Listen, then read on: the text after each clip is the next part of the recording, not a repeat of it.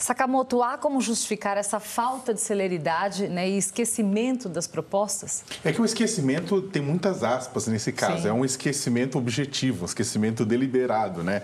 É, o pessoal coloca, na verdade, primeiro que a escolha de que vai ser votado ou não está muito na mão dos presidentes das duas casas, do Pacheco no Senado e do Lira na Câmara. Né? Então, ele vai medir muitas vezes a temperatura do, do, do, do plenário, vai sentir se realmente há uma urgência para aquilo, em primeiro lugar. Mas se aquilo aquilo não for, então ele nem vai colocar em votação, porque ele vai colocar em votação um projeto eh, eh, urgente, perder, isso vai contar na conta dele.